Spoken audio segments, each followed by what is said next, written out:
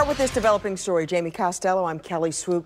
President Donald Trump been in office for two weeks, and over the last 14 days, every day really has been a major news day. And tonight's big news is a federal judge appointed by President George Bush has temporarily halted a nationwide travel ban in the White House, calling the judge's decision outrageous. And then minutes later, they kind of backtracked on that message, saying they plan now on fighting the ruling, but not tonight.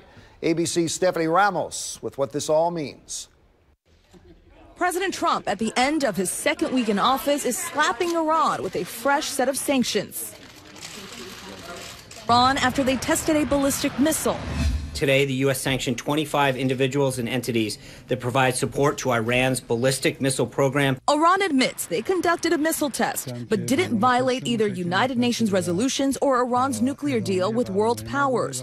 This new action shuns the individuals and companies from doing any business in the U.S. or with Americans. In a statement tonight, Tehran saying it will respond proportionately. And Friday evening, a federal judge in Washington state halts President Trump's executive order on the travel ban across the country. The court concludes that entry of the above described TRO is necessary, and the state's motion is hereby granted.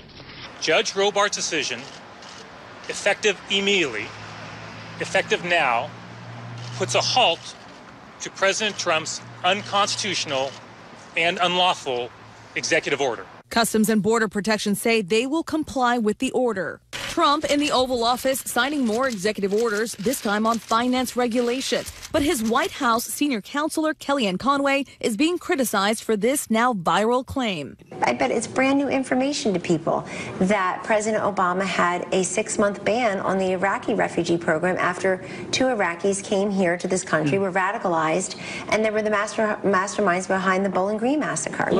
That massacre or any kind of terror attack has never happened in Bowling Green. The FBI did, however, catch two Iraqi refugees in that town trying to send weapons to Iraq for attacks on U.S. soldiers there.